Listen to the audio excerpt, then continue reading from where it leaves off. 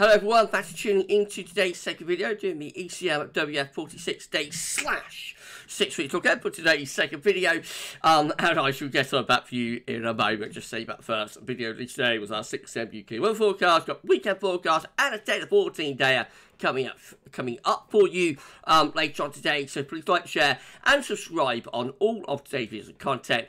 And thank you so much, everybody, for doing that for Gavs Weather Vids. Right, thanks so much to e7.int, by the way, for supplying the charts. thank you so much, EC. Okay, going to start off with the uh, week one mean sea pressure anomaly. Going to take us through next week, which will be the 19th to 26th of February. Where did the northern blocking go?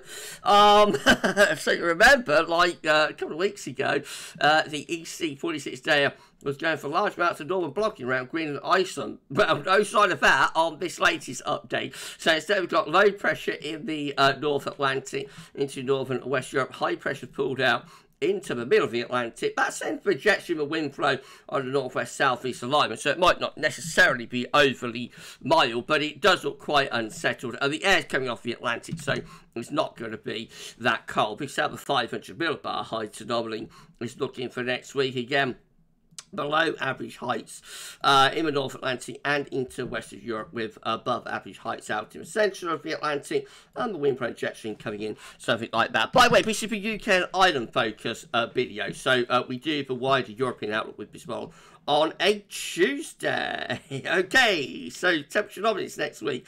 Um, a little bit above average, especially so for England and Wales, around 1 to 3 degrees above normal, a little bit cooler up to the north. The main thing about next week is that it's a pretty wet week, of a wet wicket, um, with above average rainfall for the UK and Ireland there. Oh dear. Right, well, we go over to week two which will be the 26th of February to the 4th of March.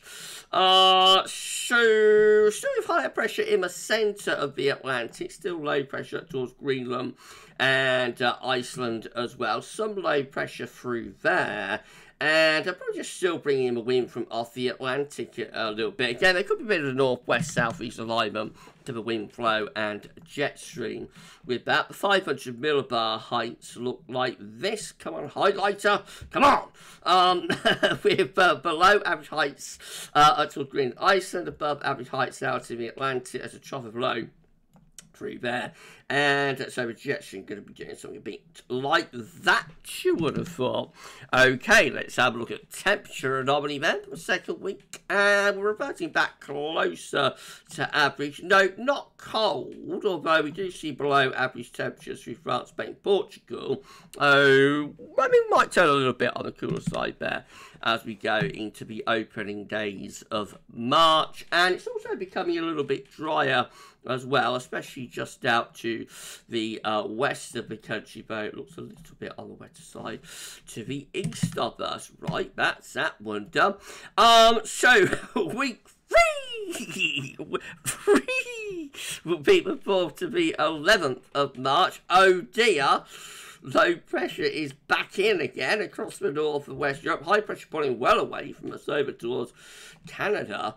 Um, though that just looks unsettled, doesn't it? Not much more to say about that. 500 millibar heights, yes, there's that trough of low pressure uh, in the North Atlantic into west of Europe. I don't think it's particularly cold, this, but it does look as though it would be uh, a continuation of unsettled weather. The temperature is slightly above average there, with wind coming back in from off the Atlantic. And as far as precipitation is concerned, well, it's week three, so it's a winter signal, but still a hint at being a little bit on the wetter side, if anything. Right, well, let's see what week four has to say.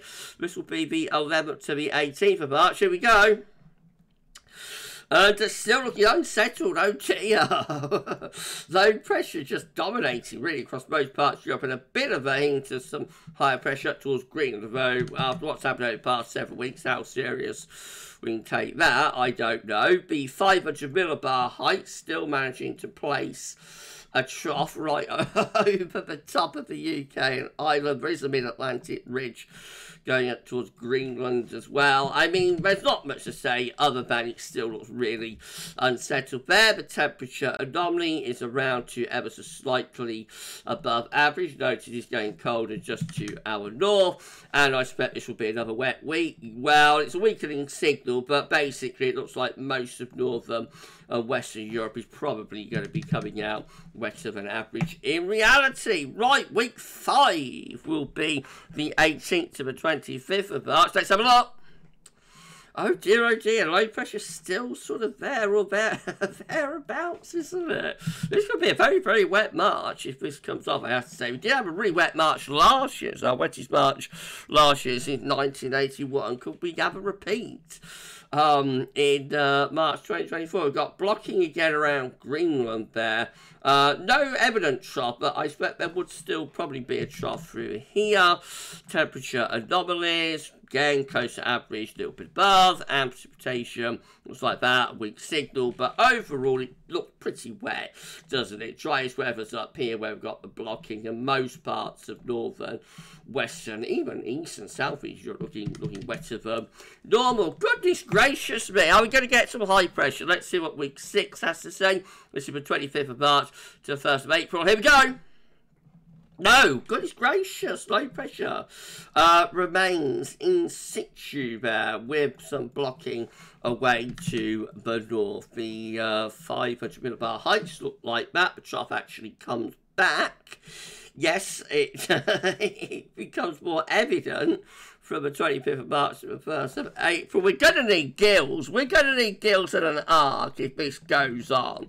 I can't believe it. High pressure still still remains away to the north. What about the temperature anomaly? It's becoming a little bit colder, especially so to the north of us. And what about precipitation? Lastly, look at this. Wetter than average there especially so focused on more southern regions. We're going to need an ark. That's it. We're going to need an ark. Get the ark ready, everybody. All aboard. Right. Well, what do we make of that, Ben? The deluge just goes on. We're going to be changing the month and changing the season uh, very, very soon. But weather remains the same. Um, the deluge continues. Obviously, this is just a snapshot. We know this model has been performing absolutely atrociously over the past several months with all of its blocking ideas and hints of, of colder winter weather. Actually, we'll finish up an exceptionally mild winter. So, um, again, just take it with a pinch of salt. It's for fun. It's for interest purposes only. Um, but there we go. That's what it's showing today. But deluge continues. Right, I'm going to be back a little bit later on with weekend forecast and your 10 14 player. So come back for that later. For this week's EC 40, 46 day slash six week Okay. That's all for now. And thanks for watching. Bye for now.